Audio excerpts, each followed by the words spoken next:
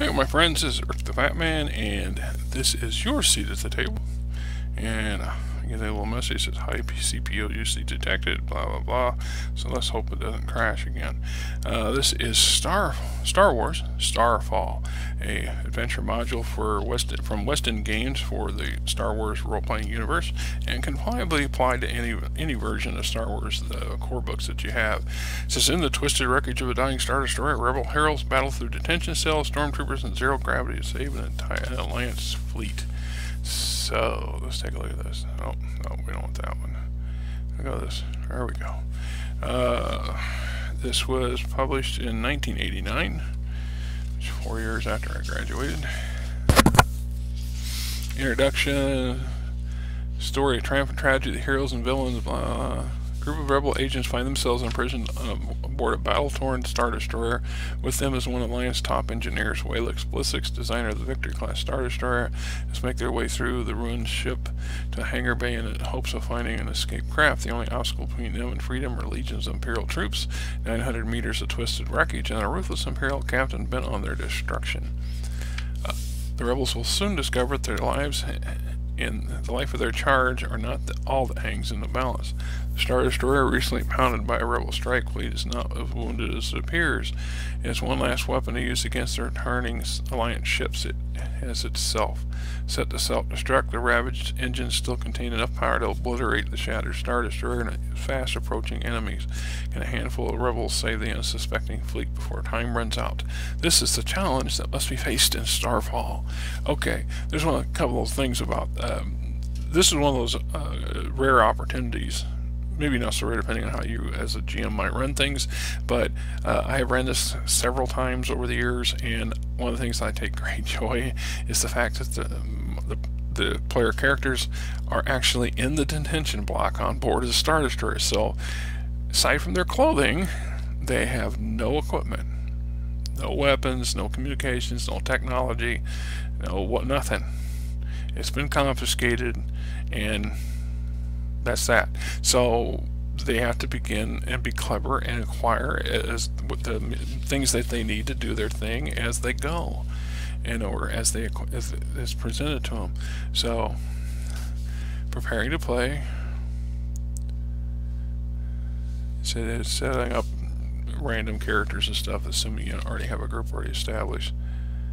Starfall combines a situation require a mix of skills to survive. The groups need the PCs, perception, knowledge, and technical skills, as well as more common combat and piloting skills.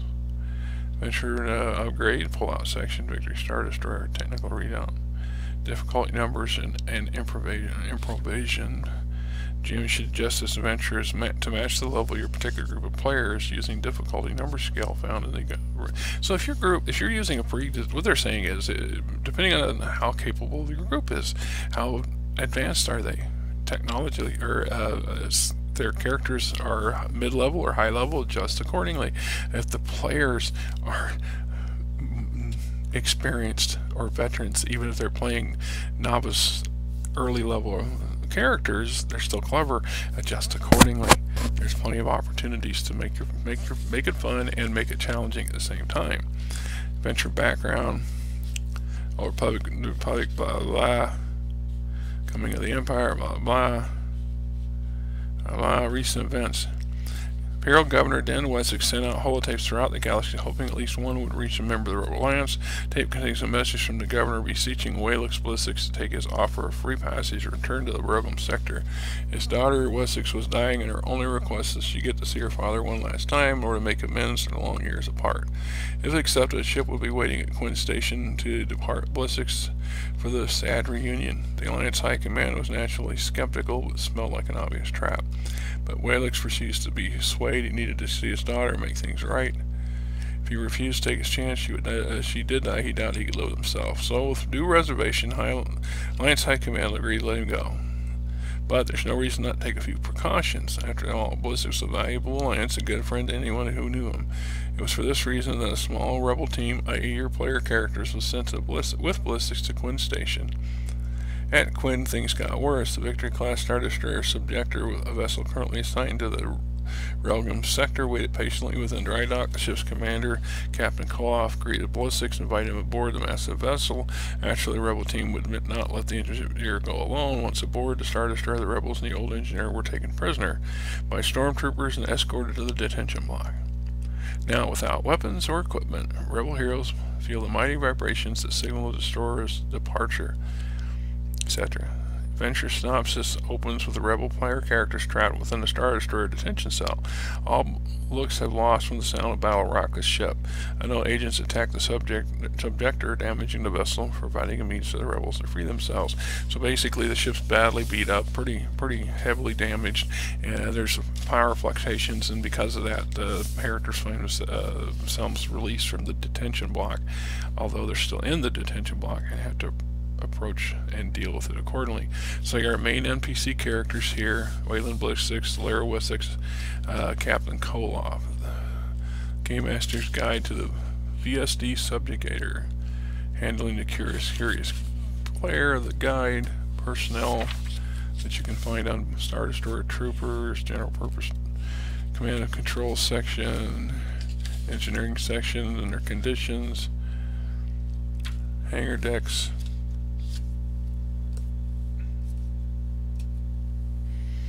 he says here, engineers and technicians constantly bustle this area in an effort to keep the Subjugator's power online. Upon entering the engineering section, PCs are likely to be perceived as technicians and asked to lend a hand in repairs. Star Destroyer troopers are posted at critical system stations only. Rebels should be able to wander this area somewhat freely, providing no one becomes suspicious. The engineering section is fairly dangerous, however, because violent equipment collapses, radiation leaks may occur without warning. For as long as the PCs remain in the area, random rolls should be made periodically to determine whether not they're affected by these occurrences, etc., etc. Built on the Star Destroyer giant huge and cell, the areas irregularly designed, many hidden corners, passageways, crawl spaces, and compartments in which to hide. Well, Ballistics can help the PCs find these places in moments of crisis. Near engine control core, many of the numerous catwalks necessary for gaining access to certain sections have collapsed or are hanging on by the merest threads. It allows for lots of opportunity. Hangar decks, probably the most heavily guarded area left in the ship, living quarters, damaged areas, overall ship status is battle condition. Subjugator is a battle alert condition. The mighty Star Destroyer is power vastly depleted, operates in two of its six power cells. All shields have been obliterated. Most weapon systems have been damaged or destroyed. The powerful Deluxe Flux hyperdrive has suffered irreparable damage. Captain Kolaff stirred most of the remaining energy into his weakened sublight engines, shutting down the rest completely in order to make the subject appear more heavily damaged than it is. Inside the ship, chaos abounds. Many crew members are trapped or displaced. Kolaff has paid them absolutely no attention. Blast doors are all across the ship automatically closed, sealing off many decks completely.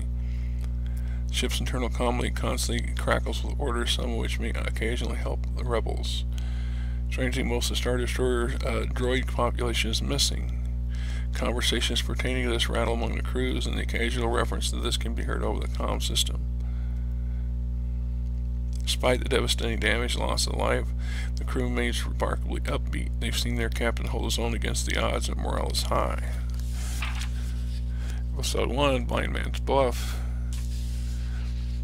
Venture begins the rebels held prisoner detention center. Explosions echo through the Star Destroyer and the lights go out. The area is cloaked in darkness. The rebels find themselves able to defeat the Imperial detention guards and their terror droid. First access to weapons and equipment.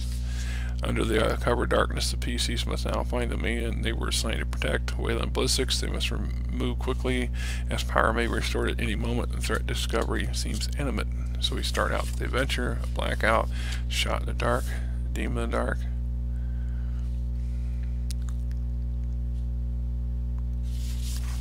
First challenge is getting to him to the Wayland Blake's Ballistics and then getting him out.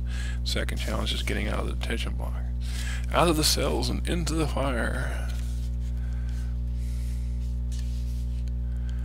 Beyond the control room, the uh, doors lie a short hallway leads to the turbolift's tube. Since there is no power for this section, the Star Destroyer must open the doors manually. This requires a very difficult strength roll, but up to three characters can combine. With great effort, get the doors open and they have to decide where they want to go. Door switches open, revealing an empty lighted corridor. It stretches to your right and left, no dangers seem to be present. Somewhere in the shaft, another explosion sounds, but that is behind you as you let the door shut. Interior of the bridge cut away. Journey 2, Journey to the Core. Summary, the rebels will fight flight from the detention block has led them to the upper levels the engineering section. With, with Walex's help, they begin the journey to take across the heart of the Star Destroyer to the engine room core, but on the way they must circumvent collapsing engines and other hazards while trying to ascertain exactly what's going on outside the dying ship. Walex's plan.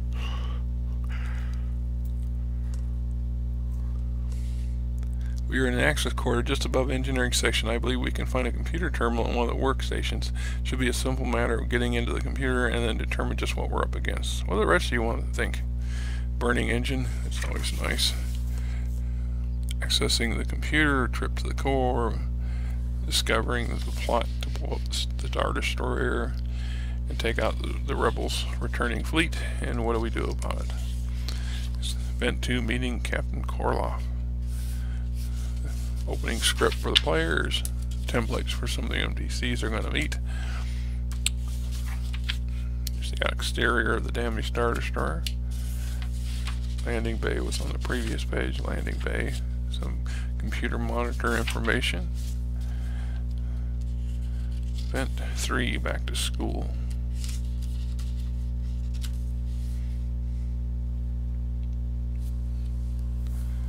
Said four rebels reach a black, blocked corridor. An open blaster leads to what seems to be a repair facility. Racks of engine parts line the firewall. Dismantled sublight modulators lie on a central table. Other access door the shop leads to seems to lead to a clear corridor. The only question is which way the PCs want to go.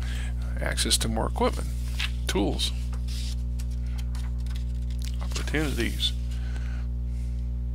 Dealing with stormtroopers. A welcome reprieve. Large chamber is obviously a medical station, appears to be strained under the weight of the ship's full casualties. Twelve back tanks fill the center of the chamber. Three of these have been shattered due to damage.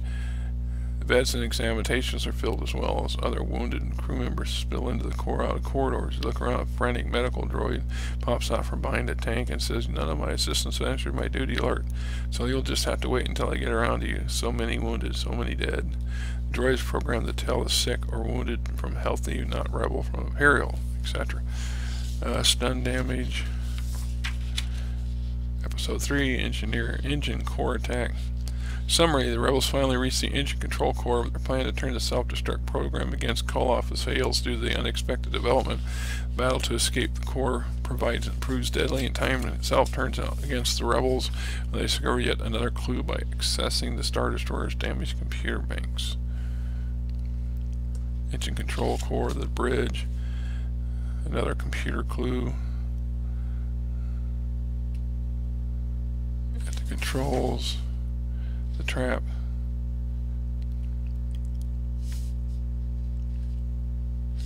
Creative escapes. Walex suggestion. Walex snaps his finger and shouts, of course. He grabs one of the more technically oriented rebels and explains, we can change the energy field created by the crisscrossing beams. You must manipulate the computer just so to alter the energy into a repulsor left field. Then we can leap into the shaft itself using the turbolift to escape. Yeah, that's one way of getting out of a broken turbolift. Uh, episode 4, A Dangerous Trek. Summary from the escape from the computer control core leads rebels to a new set of hazards and adventures. First obstacles encountered, they begin their dangerous trek as a deadly power cell storm that engulfs the lower levels of the ship. Brief rest in a supply room recover, uncovers more of Korolev's plan and gives the rebels their best hope for escape. The location of the shuttle being prepared for departure. The location is in a far distant hangar bay, and to get there, the heroes must get past renegade droids, make their way through the twisted underside of the damaged vessel, and survive a zero-gravity fight with yet more stormtroopers. Oh, meeting T3 here, check, so we know what's going on here. Uh, the Great Escape, Zero-G Battle, Episode 5, A Clash with Korolev. With time running out, a squad of angry stormtroopers behind them, the rebels reach the hangar bays, but realize they are on the wrong one. To get to one level down to the bay they want, the rebels must face perhaps the most deadly challenge of this venture. They must face off Korolev, who waits them in an ATST Scout Walker. The fate of approaching rebel task force hangs in the balance. So Hangar Bay 12, conflict with the nut job captain, using dueling ATSTs in a, in a shaky Star Destroyers Starship Bay? Yeah, that works. Uh, the ATST parking against the far wall can be reached in two rounds. Takes additional round to climb in. Powered up. Each ATST holds a crew of two. Scale rules for walkers and characters. Final exams. Cole left this, left this gift for the brave rebels. He provided them with ATSTs in order to meet him on the field of battle. Something good enough. Yeah, so this an Imperial fleet captain who's very experienced in piloting ATSTs, especially fighting in his own ship cargo bay or landing bay. Makes sense. Episode, episode 6 The Final Escape. The summary Hangar Bay G12. The rebels must defeat the final guards, deal with the mysterious Imperial officer, warn the approaching rebel fleet to turn back, escape the Star Destroyer before it explodes, hold on to your flight helmets as time becomes true enemy the, in the closing minutes of Starfall. You know, so, yeah. ATST damage table. There we go. Can you get to the shuttle? Can you get it out? Can you escape before it blows up?